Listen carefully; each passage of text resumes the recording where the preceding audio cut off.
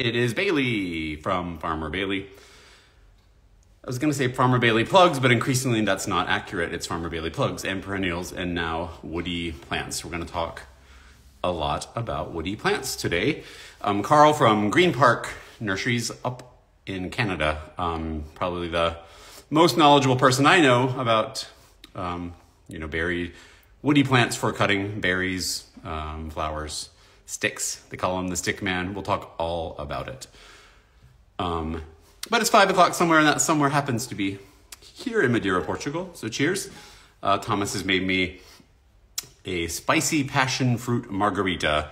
Passion fruit is called maracuja here in Portugal. So uh, I'm going to take a little sip of this. It's a bit spicy, so I probably will have to go kind of slow. Mm. Delicious. It's gonna also introduce you to the newest member of our family. This is little Princesa. She's a, a rescue dog that we got from the shelter last week. So, uh, yeah, there's, there's Princesa. You might have seen Chuck and Chauncey, our other dogs. Everyone's doing very well. Um, announcements. This is the last week to order Gerberas. If you are looking for Gerberas from Grow and Sell, get your order in this week. Otherwise, um, yeah, if you haven't got your Lisianthus order in, don't wait too much longer. We still have capacity at Grow and Sell and at Plug Connection, um, but I imagine that will be stopping pretty soon.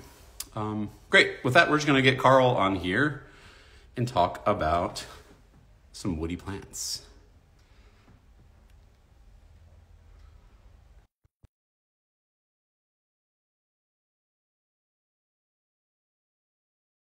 While he uh, hopefully will join, join us here in a second. Hey, there you are. Hey.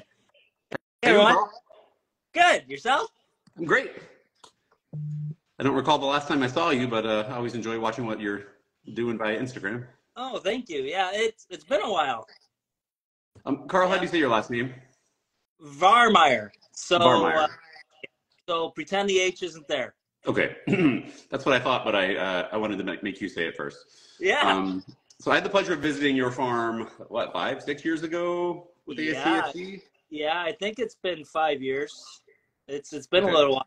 Yeah, it was before the additions happened and everything happened. So yeah, yeah, and it's probably been about five years. Um, I know some of the crops that you grow, but why don't you run run run down the list because you have you yeah. have, hand, you have a lot of all of them, but not yeah, not, not the hugest range, right? There, there's a lot of everything. Um, usually, how I do this is I go through the seasons so uh, in January, February, March, we're into a lot of pussy willow, forsythia, um, curly willow, fantail willow. And then as we transition to our spring flowers, then we're into the cut lilacs, um, cut viburnum, snowball, um, spirea, mock orange, and then we actually have summers off. So by the 15th of June, we're done for the season, for shipping season. Then we start again the middle of August with hydrangeas. We go into uh. That's when our snowberries start coming on crop. Um, yeah, and then uh, and then the fall season. In the fall season, we go back into curly willow and we go into dogwood branches, ilex. So that's uh, a little bit what we do here on the farm. Lots of woodies. Lots of woodies. Um, woodies take up a lot of space, but I think even if you got a small space, you have room for a few woodies. Um, the biggest hurdle I think has been that people needed to buy, you know, a full pallet worth of plants to get going with woodies. And that's been something I've worked on for years, and I finally found a solution uh, working with Kolster. We'll talk about them in just a minute yep. also. Um, I got to say, we had some really, uh, really strong response to the Woody program, and thank you for reaching out to offer you know some of your expertise on the topic as well. Well, me personally, because of the size of the grower that I am, I am able to purchase those large quantities, and, and I've always wanted everyone to be able to get these varieties in their hands. But yeah, it's hard when you play that small time farm with big companies that are growing these bare root plants. So uh, no, it's been great to see you take this initiative also, Bailey. Um, I've known of Kolster for many years, visited them. Yeah. I don't remember the first time I visited their farm, but when I'm in Holland, you know, looking for new seeds, new bulbs, new whatever. Their display is always beautiful, nice people, um, and I love their products. But it's been a lot of lot of logistics to figure out how yes. to get them to America. So we're really happy that that's finally happening. Oh, good. Um, so let's kind of go down. Let's talk about a few a few crops. Um, maybe we'll kind of go in the season as well. Um, you mentioned you mentioned Philadelphus mock orange. Yes. Um, are you are you growing the Kolster variety? I'm sure the culture will be similar regardless. Yes, so it is similar. Um, we are only growing the Snowbell variety right now. Okay. Um, that double uh, double mock orange, very similar to the one that Kolster does. Um, the reason we don't grow the Kolster variety is because it actually blooms two weeks later than the Snowbell. Okay. So, and we value our summers and our time off. and Snowbell mock orange is our last crop for the season.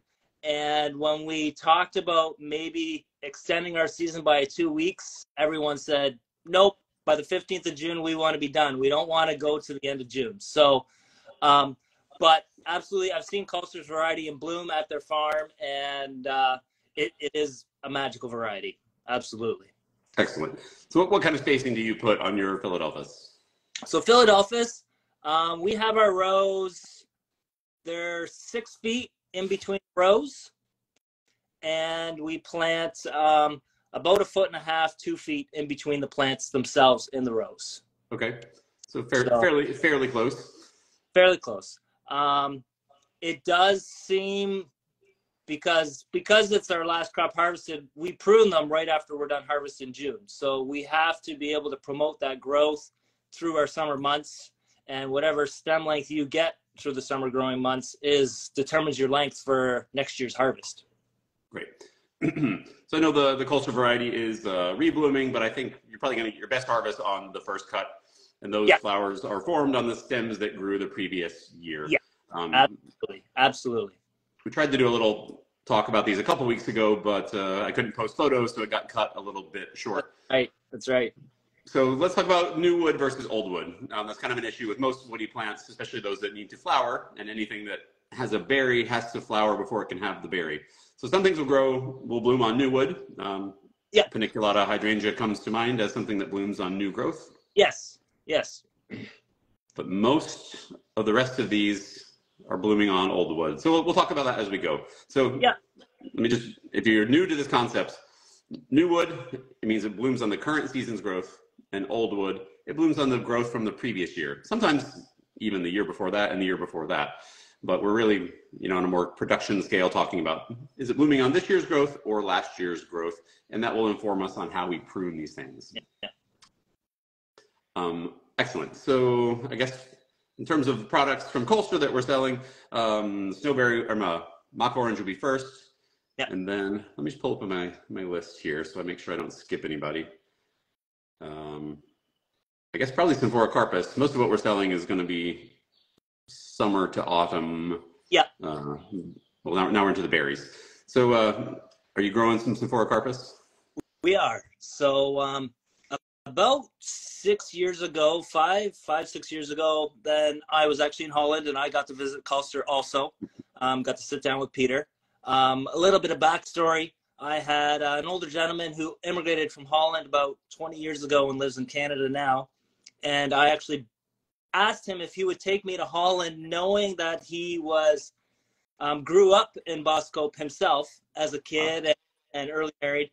So he knew everyone there. So he was my ticket into a lot of these places, and that's actually how I got to meet um, Kolster and come visit their place. And so we set up uh, our initial first order with a couple hundred of each variety, because at that point we didn't know if they would work in the North American market this was still all new. So we were also guinea pigs um, back then just to try it out. So uh, yeah, and then Snowberry was on that list. We had um, Magical Treasure, Magical White Dream, and Magical Pride. Okay. Uh, come in. Those were our initial ones, and then a couple years after that, then we went into Magical Temptation, more Magical White Dream, um, Autumn's Blush, um, Ruby Giant, and Ruby Falls. Does that make sense? Ruby Falls. So Yep. those those are the varieties that we have in our ground growing now. So Excellent. So let me just do a little sidebar here. So Kolster is this breeder of well of, of a lot of things, but they've traditionally been in, heavy in the hydrangeas and other woody plants, um, you know, for the garden and, and potted market even. But they were smart enough to realize that sometimes when you breed, you know, you're growing out thousands of plants. You have some that are maybe a little too tall, maybe they're a little too vigorous. They don't, they would outgrow your normal landscape. And being smart people, they said that has potential in the cut flower trade. They're not far from Aalsmeer, which is where you know all the cut flowers in the world, not all, a lot of them flow through. Um, so they really also selected for cutting potential at the same time as they're breeding for other qualities. Um, I don't know of anyone else who's really done that in a big way, so I really appreciate their work. And I think these are probably some of the best specimens that we can get if you are looking at them from the cut standpoint. Um, so Symphoricarpos is snowberry or coralberry, depending on maybe the color or where you're from or the species. There's a lot of different species, all native to North America. Um, tell me about your season. Do you have them over a several So- month period? yeah. So um, oh, and we also have Avalanche, which Okay. is basically the earliest one. It is it is amazing, and we start usually up here. We're zone six now. It's so hard to stay on top of these different zones. We're kind of in this little microclimate where we are. Uh, we'll start with Avalanche usually about the 20th, 25th of August, Okay. and we'll go right through September and usually midway through October. Okay. So it is almost an eight week, eight week, eight, nine week season. And even our last harvest, we did have a hard frost where all the dahlia growers were done for the season and we still did one more harvest of snowberry. So they are uh, they are quite resilient and uh, yeah, it's it's been an amazing crop. Um, to let everyone know, with snowberry, um, we learned out the hard way. Be prepared for mildew Okay.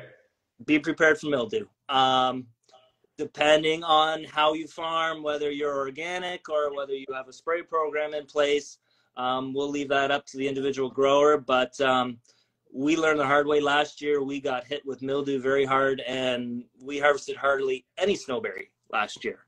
Okay. So um, just keep that in the back of your mind. Um, they they are prone, and I think a lot of it has to do with a little bit of climate change. Um, we were used to having hot summer evenings and hot summer days.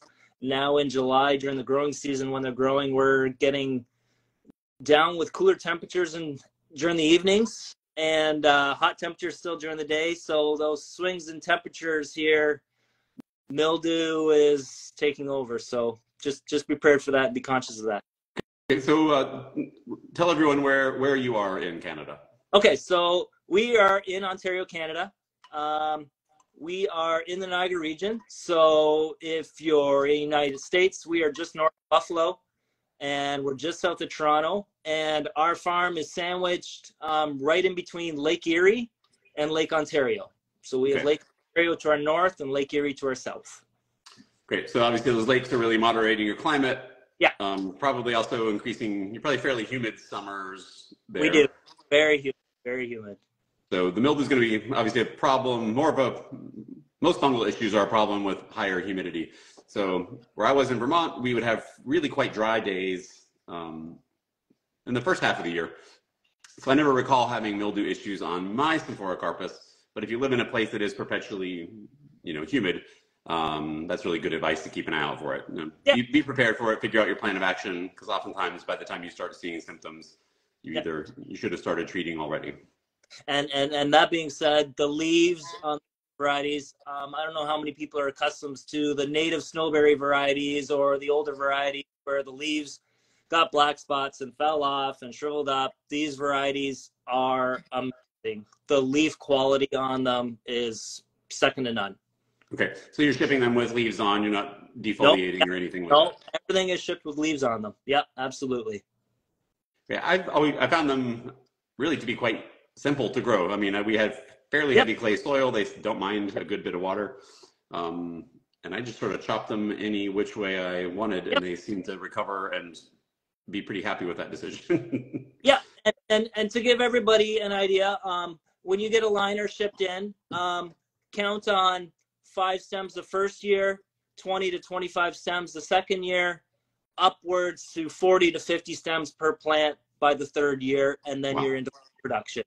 Um, that's that's what we've seen by plants directly from the breeder planted in our ground, and we count on about three years, and you're into that 40 to 50 stem per plant range. That's so, incredible. yeah. And what what spacing are you using on snowberry? Those are the same. Um, we try and keep everything pretty standard.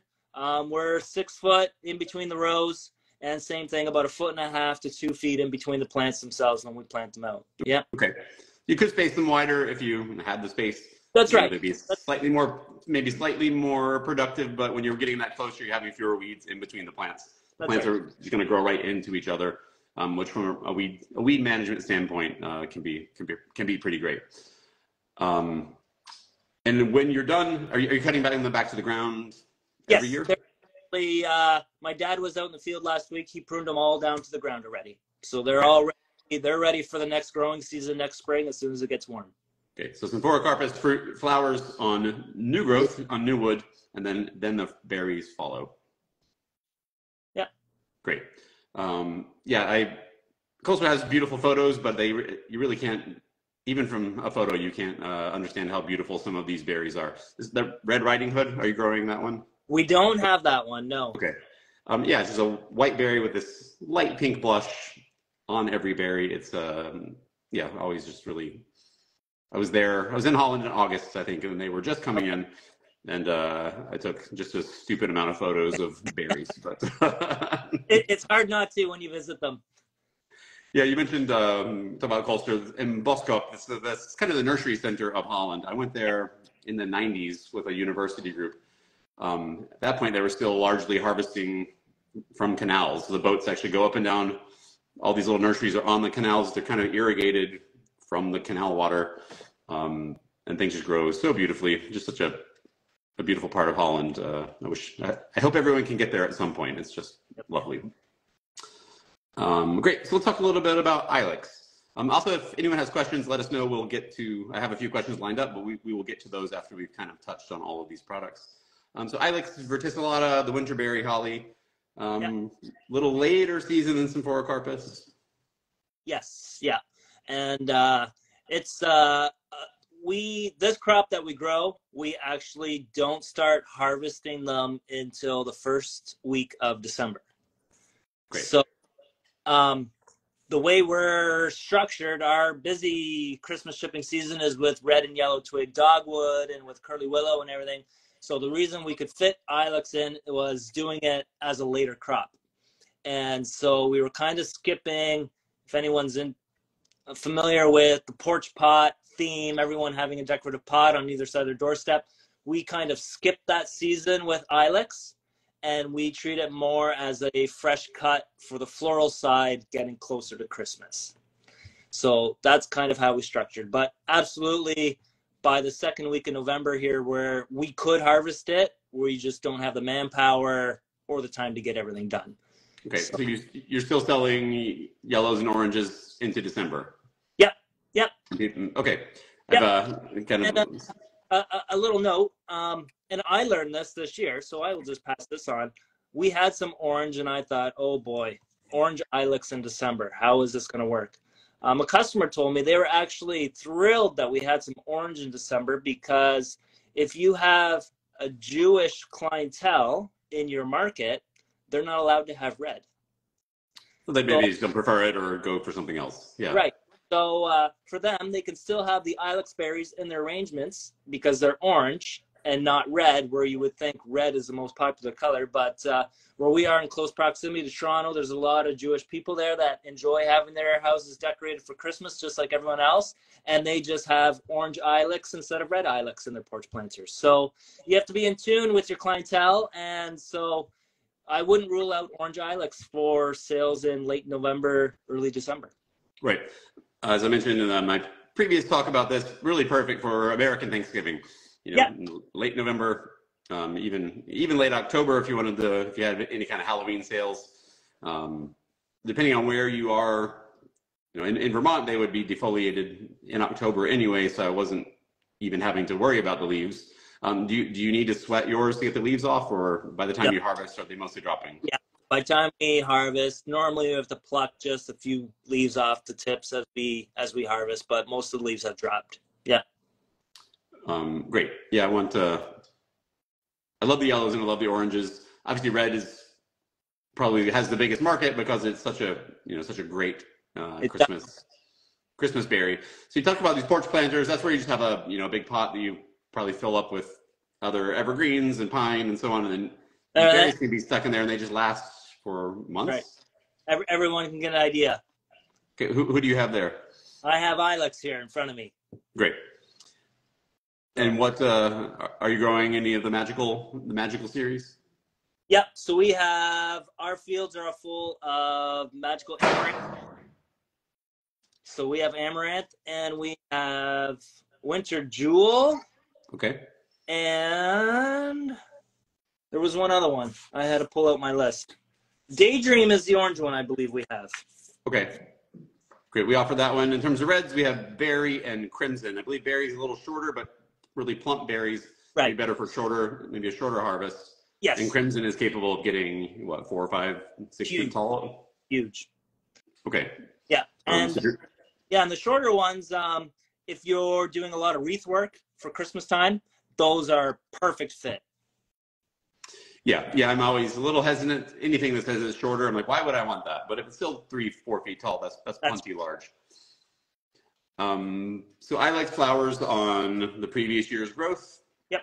So on old wood, it's going to flower and then fruit. You have to have a pollinator, so we're shipping a pollinator with every 10 plants as per Kolster's recommendation. So the, the male will be included with the order. Um, are you using about that ratio or do you plant, you have more Yeah. males? Uh, yeah, we're we're ten to one. Okay.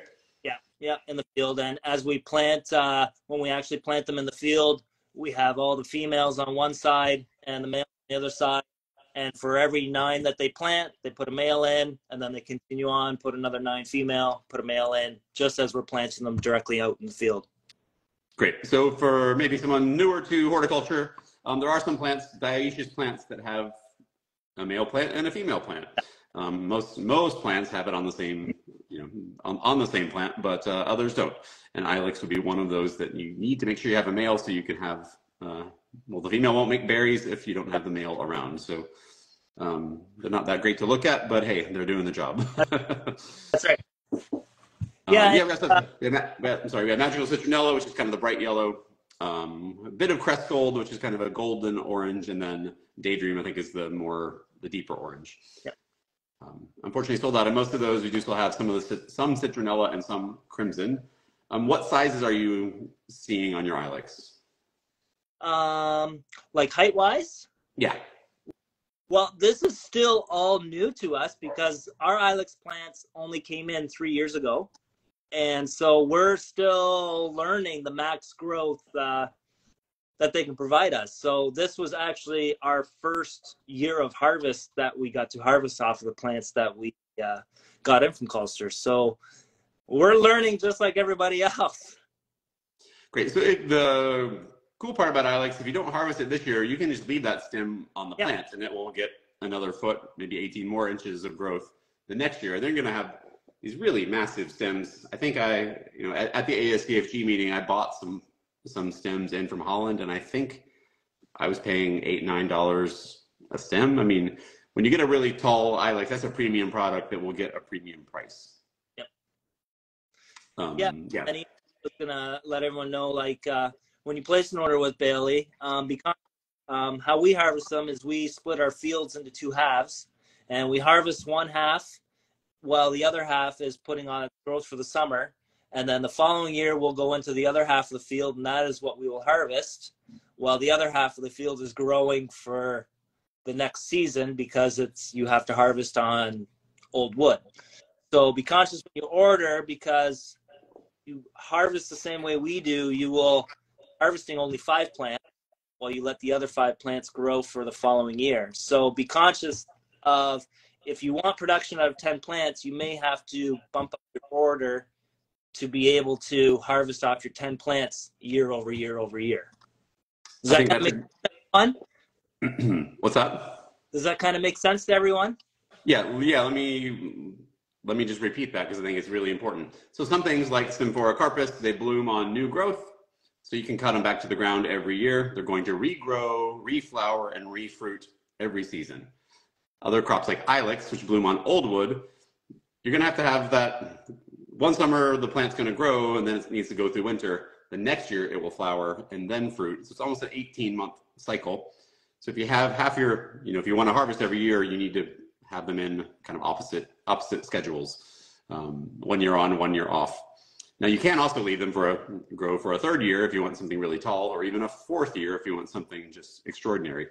Um, yeah, I think that's a really a really great point. The male the male can hang out. You could probably print it back if it's getting unruly, Yep. but the, the females, I think it's a really really good idea to plant. You know, plant two batches or or, or prune them accordingly. Um, they take what three years to establish. Mine seemed to kind of sit there the first year. Then the second Yeah. year I saw some growth, and third year I really saw Yeah. dramatic growth. We did. We uh, we actually planted them in a field that we thought they would do great, and they actually didn't do very well in that field. So we actually ended up taking them all out, storing them in our cooler over the winter, and planting into a different field the following spring. So we almost lost a year between that whole fiasco. So we're just we don't have all the answers. We're learning as we go too. So don't feel like uh, if they don't do very well in a spot, you can you can dig them up and you find find a better spot or better soil for them. So it was actually a low spot on the farm. We thought they would do great, and they didn't do so good. So they ended up getting planted in a section of the farm that is on straight sand, and they've done phenomenal there. So Okay. don't feel don't feel like you have to plant them in the lowest, wettest part of your farm. We have them planted on pure sand beach soil is basically what we're farming on, and they they did exceptionally well. So Great, that's really good advice. I I happened to have heavy clay soil when I had them in Vermont, and they were pretty happy on that. Um, but you see them in bogs, and as you're saying, even even well drained soil will work as long as they are getting irrigated. Yep. Um, yeah, I love Ilex verticillata. I'm not sure I can grow it uh, here in my new home, and I I kind of miss it, but you know, there's some trade offs. Um, great. Um, you're growing. Well, I've got some more, more things to talk about. Are you are you growing any Callicarpa? Or are you too cold up there? no callicarpa. That Okay. was uh, that was a case of we can't do everything. Yeah. Um, Callicarpa are great, especially if you're in a little warmer zone. I think these might be hardy to six.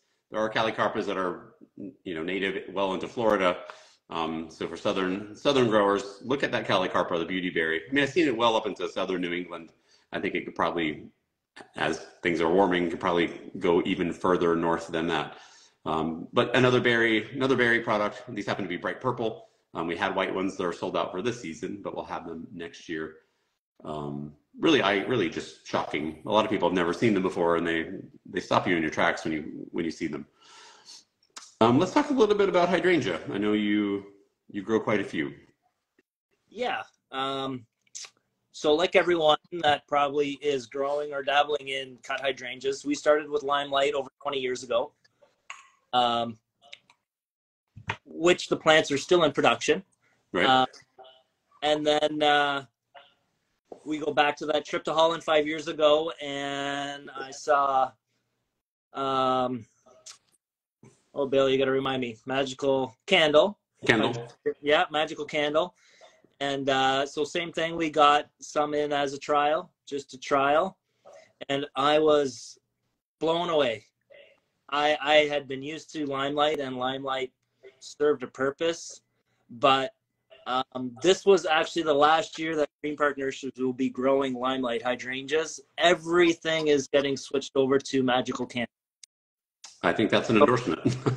so there is there is your endorsement it is uh it's an amazing flower. It it, it truly is. Um and one other variety that we're growing that i don't think too many people will be able to get because it's kind of exclusive to green park nurseries is uh we have magical ruby snow hydrangea. And so that one was kind of came in as a patent to us um, just as a code and we trialed it and we had the first 350 cuttings made exclusively for Green Park Nurseries. And my daughter actually got to name the plant, so uh, that that is uh, those will be the two varieties that we'll be moving forward with. So, but uh, yeah, amazing, amazing varieties of hydrangeas that Kolster has. Um, I agree. Yeah, I was there, like I said, in August. There were a couple that I maybe they weren't being uh, they weren't tagged to be saved, but I'm like this this is the one I want. like maybe maybe it doesn't have landscape potential, but can you maybe set this one aside for the cut people? Yeah. Um, even late in the season, it was still pure white and not not blushing at all. like pure pure white is is helpful sometimes. Um, so I, uh, hydrangea paniculatas they flower on new growth, so you yep. can cut them back every year. How how low are you pruning yours each season? Um, if if I we are pruning them basically, we're leaving a two to three inch nub on the season's growth. That kind okay. of makes sense? Um, right. So and and what happens is is when you're pruning on the same bush for over 20 years, you know we do have hydrangea plants that are almost three feet tall, but just simply because that two inches two inches at a time, they'll they'll get there. Yeah. yeah. So we are pruning them quite heavy.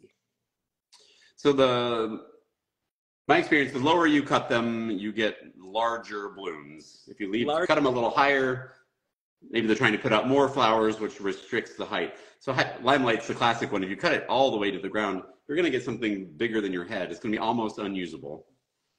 Yeah. But if you cut them maybe eh, a little bit below your knee, depending on how tall you are, you're going to get uh, more stems, but uh, more stems with a smaller head, and I think you'll probably end up making more money on them. More transportable, easier for the designers to use. So experiment a little bit. Maybe you have a farmer's market where you could sell a giant, you know, 18 inch wide flower that they're they're very impressive, but just a little bit hard to transport and maybe not something your wedding your wedding designers will go after.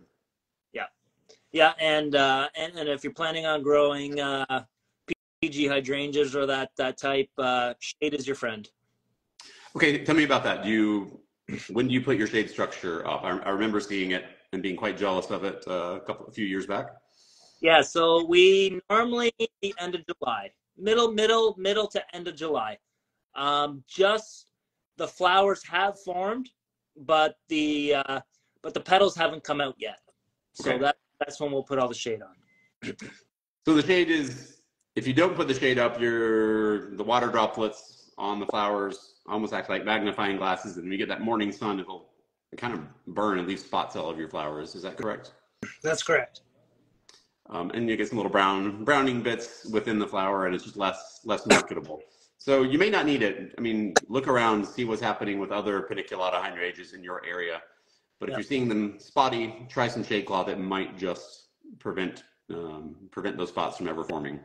Bailey, you have to excuse me for one moment. Okay. okay, I'll be right here. Um, so I've got a couple questions already. We are actually going to restock some of these items. We have more hydrangea on the way. Um, if you want some of these products and we're sold out, just hit that notify me button. That's how we will let you know. We won't have a big, you know, we, we won't have the full, uh, we're not getting hundreds and hundreds more of all of these, but we will have some more. So hit the little notify me button if it's sold out and you will be notified. We're not going to send an email out this time.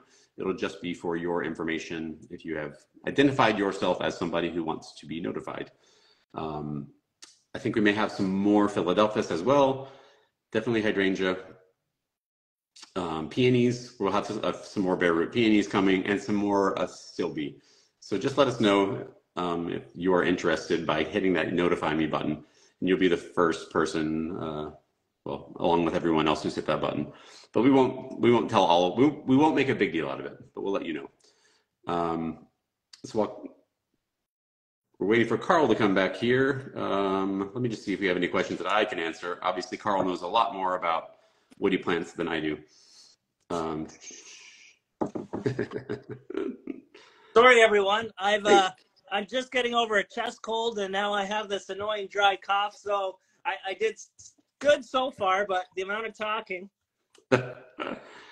I'll try to take it easy on you here. Um, I was saying we are actually we sold a lot of what we have pre-ordered from Kolster, and I've gone back to them, and they're able to restock us with some things. The hydrangea are actually coming in from Maryland; they're not coming in from Holland, so they're already in the U.S.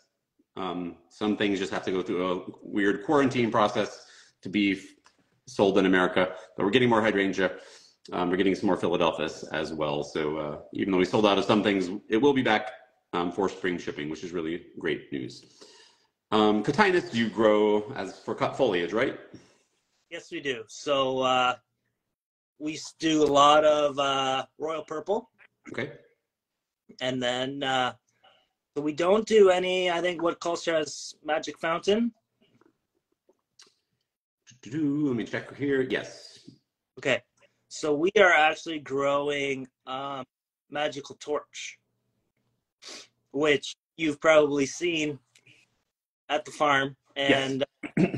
so that is a cotinus that gives you the smoke effect or blooms on new growth.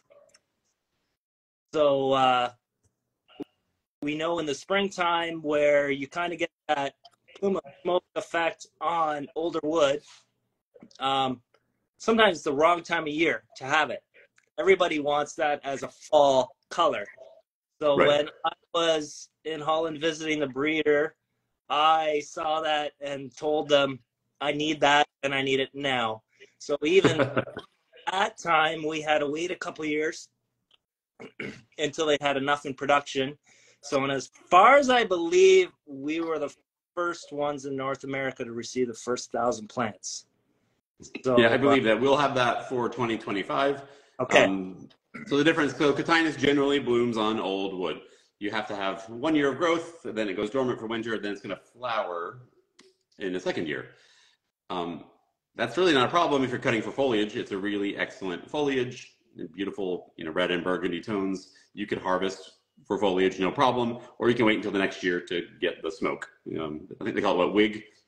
Yeah. Wig, wig tree or something because it does kind of look like a wig. I think maybe I need to photo shoot with uh, Cotinus hair. Um, there is a new a new series out there that will flower will flower and make that smoky effect on the first year's growth, um, but it is still in really short supply.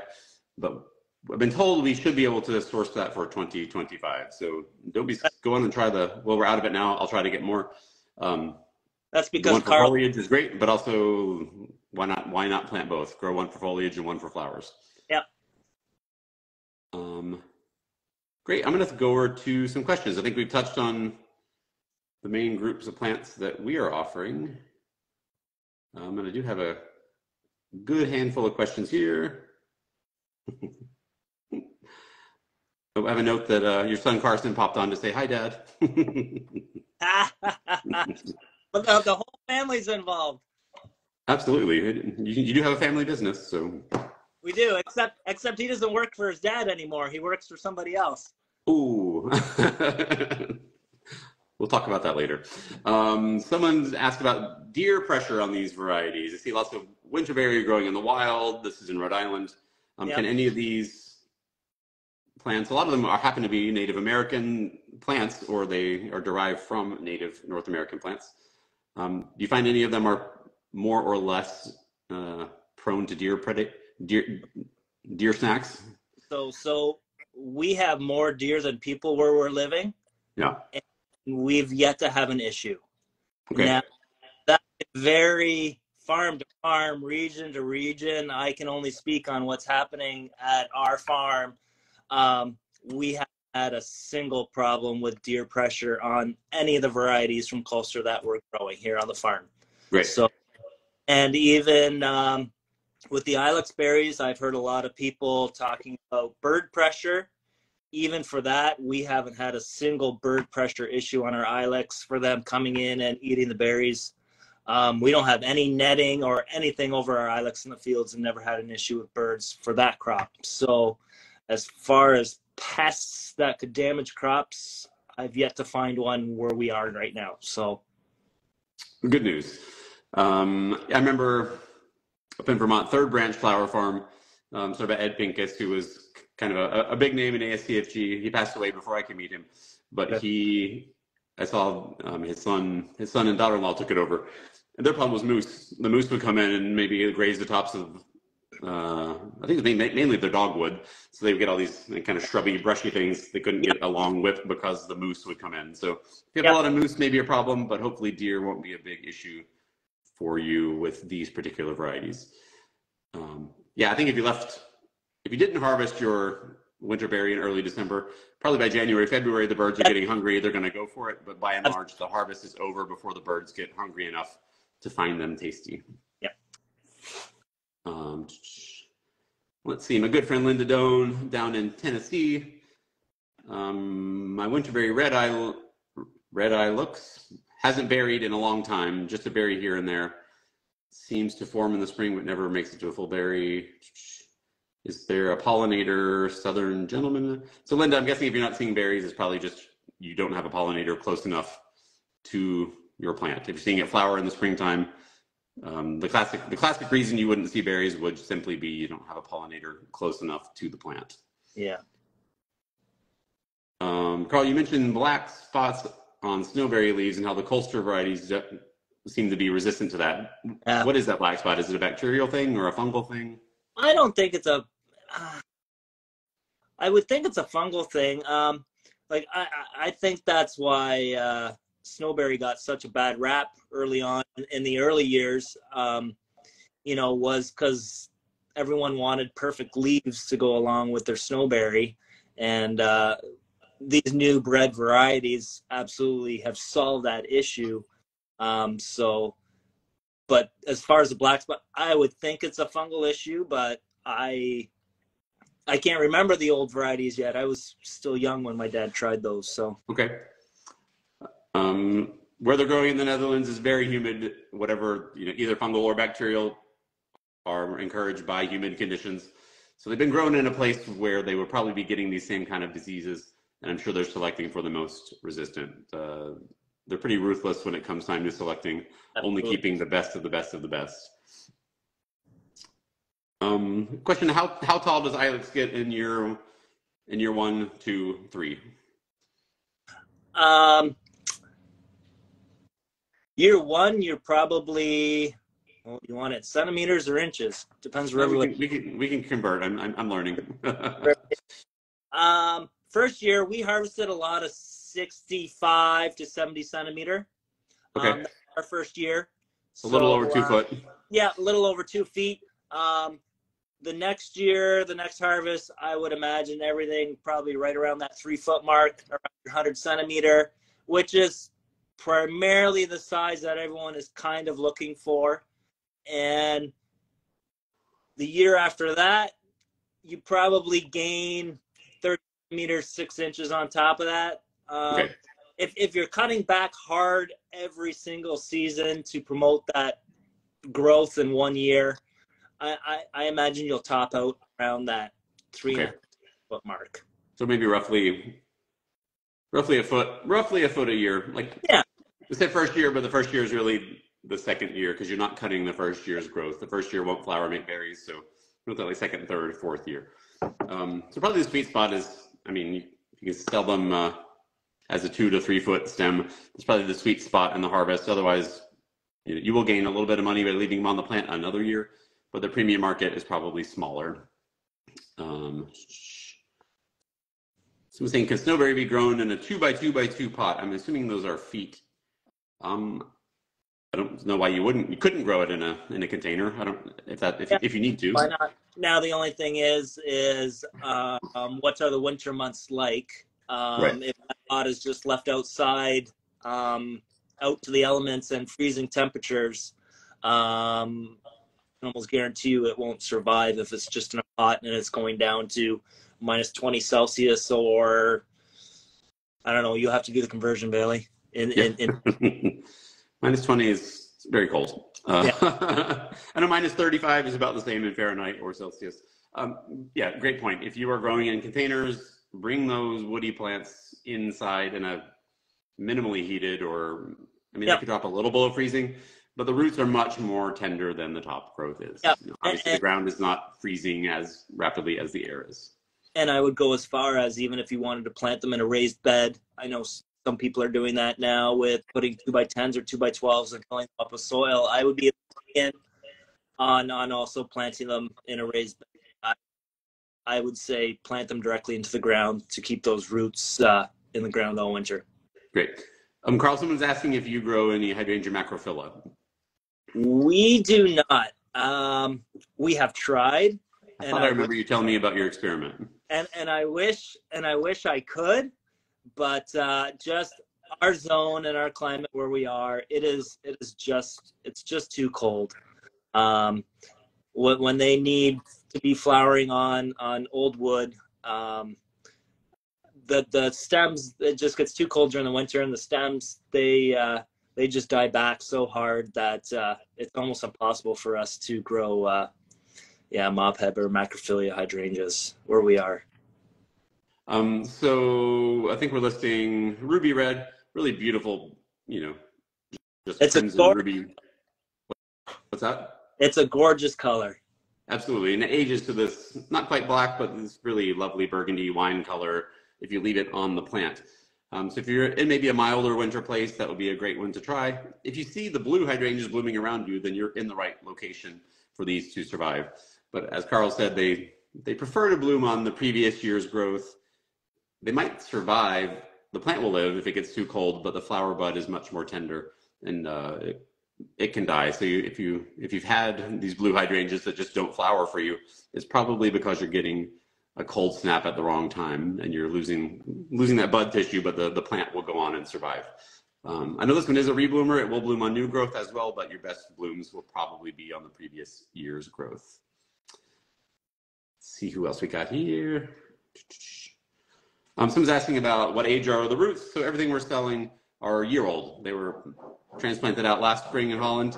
They've actually been sheared, I think, three times. So you get lots of branching. The structure is really nice on the plants that Kolster is producing. Um, yeah, they look they look older than that to me, but the plants are probably I don't know anywhere between 12 to 18 inches tall with the root system to match. These are really really happy plants.